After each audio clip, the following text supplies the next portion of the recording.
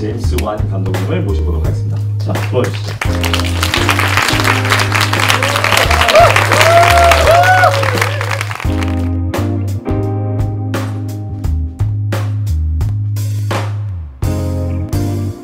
Um, yes, thank you so much for coming out here to do this with me. Uh, it's, uh, it's, it's such a pleasure and an honor for me to be invited to be part of this.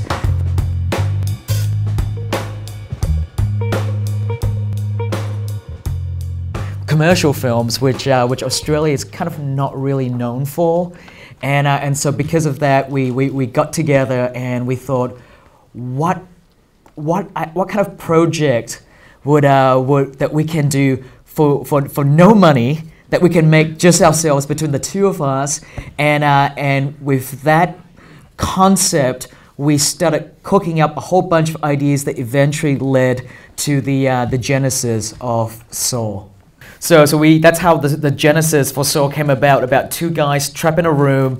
They cannot get out of there. And, uh, and so, you know, and so we spent uh, like a year to two years writing the script for that. And then we spent another year trying to um, get funding to make the movie uh, in Australia. And uh, somehow an agent in, uh, in LA that, that knew um, our, our manager, even though this was an agent in television. What if we um, pick a scene from the script that is, that, that, that is really um, inventive, that is really confronting, and, and if we shoot that one scene and make it like, like a complete shot on its own, maybe we can use that to, uh, to sell to the producers or sell to the agent or sell to anyone.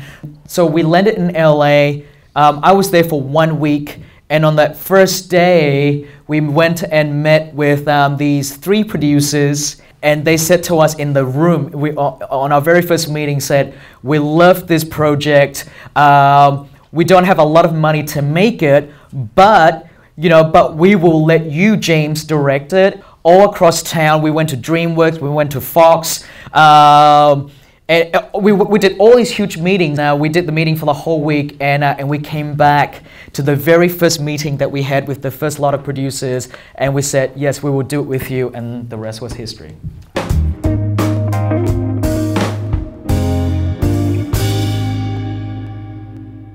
Horror works in a way where it, it, it plays with our fear, um, and, and it usually is our fear of the unknown. Um, um, you know, like uh, or, or, fear of of of uh, fear of death, fear of um, um, harms being done to our loved ones, fear of losing our loved ones, and so I think these are all the different um, elements of fear that uh, that in, in, a, in a scary movie, that's what you play on. Um, you know, and, and for me, I like to set my scary movies in everyday situations that we can all relate to. Uh, and that, that, that is a reason why a lot of my scary movies tend to take place in a house because um, there is nothing more ordinary and more mundane and everyday than, uh, than the house that you live in. And, um, and the idea that, uh, that your house, which is your castle, your fortress, your sanctuary, could be, uh, could be invaded by you know by if it's invaded by a human character by an intruder that is very frightening.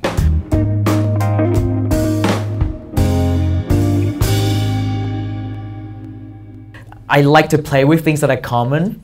Um, um, you know and so uh, so it's very I guess it's very important for me to uh, to design things that um, that people can ultimately relate to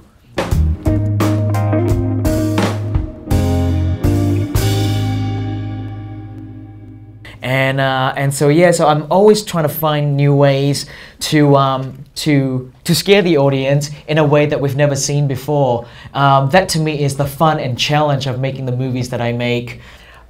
I, I, I, generally I write my movies very late at night, like two, three a.m. in the morning, and when and I have all the lights in my house switched off, and uh, and I would think about the scares, and I would walk around the house in the middle of the night, and if that scares the crap out of me, then chances are it's gonna scare the crap out of someone as well. you know, then then I may pitch the idea to. Uh, to my writers or to my storyboard artists or just someone else just to get some kind of feedback.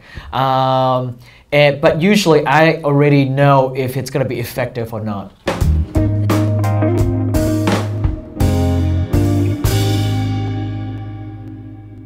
As a filmmaker, I I don't want to be just known for one thing. I think, or as an artist, I want to be known. You know, I want to be able to try different things. Um, whether or not I succeed in those things, you know, uh, I don't know. But at least um, I give them a shot.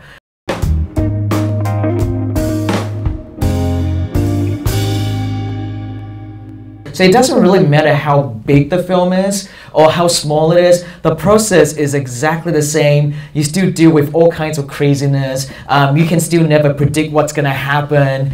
And, uh, and it's always still very messy and, and very um, uncoordinated. It, it, well, it's kind of like a coordinated mess that um, making a movie is like um, you know is it's, it's like a traveling circus um, you, you have um, you know better equipment, better tools to work with. Um, but, uh, but at the same time, it, it's also more difficult because you have less freedom. Because the more expensive a movie is, the more people are watching over your shoulders now, telling you kind of how, you know, telling you kind of telling you how you should make your movie, and, and that is always the big fight. You know, always the big struggle for directors is uh, trying to get your vision across without other people diluting it too much.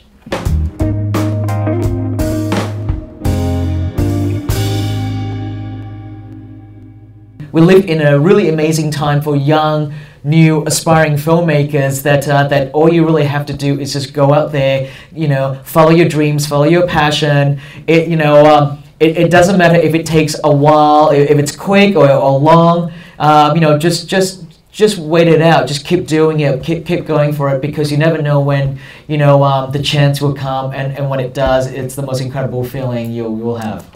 Uh, and thank you so much for all the fantastic questions. Um, I wish you guys all the best, and uh, and I'm sure you you know you guys have amazing stories to make uh, moving forward as well. So thank you so much.